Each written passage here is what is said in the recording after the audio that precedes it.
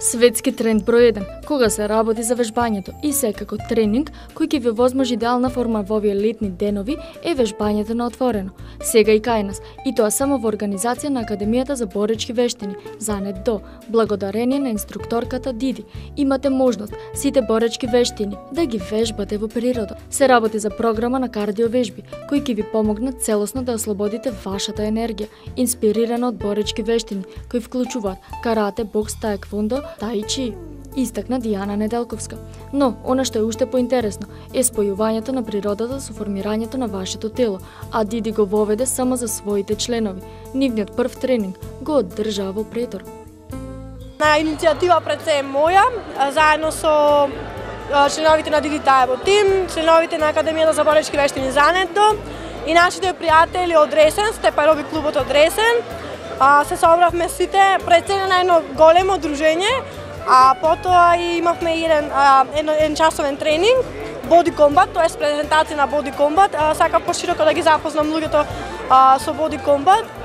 А, искрено се плашев дали ќе најдам на заинтересираност кај луѓето, али са бајле, кога тргнахме во 7 сатот, доста се изненади, затоа што имаше над а, 100 души. Значи, не можам да ти кажам, беше феноменално. Еден час траеше тренингот, доста се забавувавме за време на тренингот, а потоа имавме уште 3 часа дружење. Така, јас и од она што можев да го видам од фотографиите, значи многу ми е криво што не можев лично да дојдам, ке вежбав со вас затоа што е страшно интересно, инспиративно пред се. Значи имаше доста присутни. Дали се сите значи членови на Диди Таебо тим или Не, значи, а, беа неколку членови на Дидитаево тим. Истина многу ми е жал што не можеше цел Дидитаево тим да присуствува заради годишните одмори, знаеш, фатихме може би малце лош период.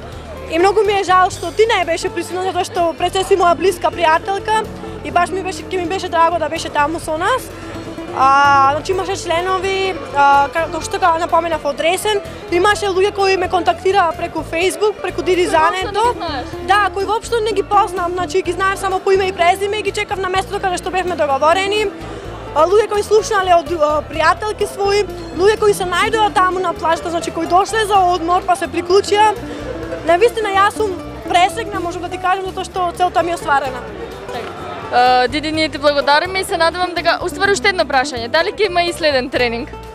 А, се надевам, да, се надевам дека ќе има следен тренинг, а нови пат а, баш би сакала јас да биде а, вечерен тренинг, да, да не биде денски, да биде вечерен тренинг на плажа. Ти благодариме и, и понатаму да не известуваш за вакви интересни настани и да ни носиш во нашиот град. Секако, значи ви благодарам вас, посебно тебе на соработката, па се надам на следниот тренинг ќе да видам таму заедно со вас. Повезно, повезно зеленилото во парковите и шумите, самиот поглед кон реките и езерата, на вистина смируваат, па така, мозокот лесно се носи со штетните последици од стресот.